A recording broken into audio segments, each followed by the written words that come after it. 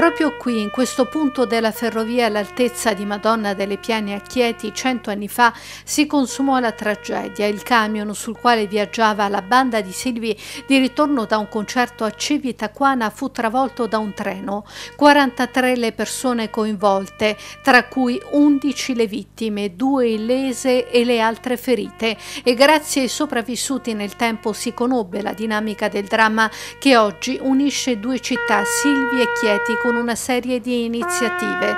Il sindaco di Silvi, Andrea Scordella. Eh, in questo periodo cade il centenario, noi siamo veramente diciamo, fieri di poter rappresentare il ricordo di queste famiglie e con una serie di iniziative sul territorio, con la deposizione della corona sia sul punto della tragedia qui a Chieti insieme alle istituzioni della città di Chieti e poi successivamente ehm, con un concerto della fanfara della Polizia di Stato proprio il ricordo nel belvedere di Silvia Alta, veramente un alto momento di sensibilità sul ricordo di queste eh, purtroppo di queste famiglie che hanno pianto i loro cari. Allora sì, la banda viaggiava in pullman eh, proprio in questo punto eh, un po' per la folta vegetazione, un po' diciamo, la distrazione del conducente e ci fu questo evento tragico dove il treno travolse questo, questo pullman.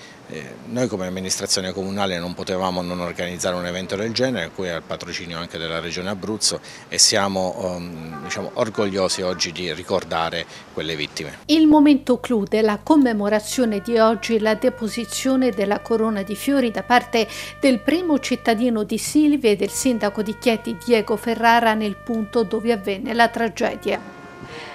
Sindaco, viene sottolineata nelle cronache la grande solidarietà di Chieti nei confronti della città di Silvi.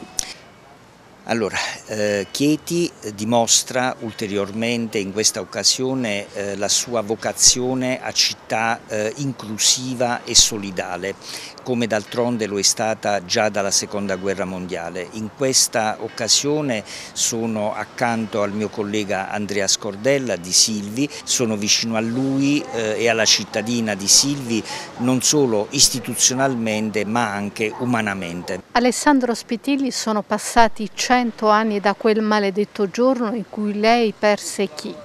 Sì, noi in quell'incidente familiari abbiamo perso quattro familiari e oltre ad altri feriti, eh, tra l'altro pure mio padre che aveva appena 15 anni ed era su quel, su quel maledetto camion.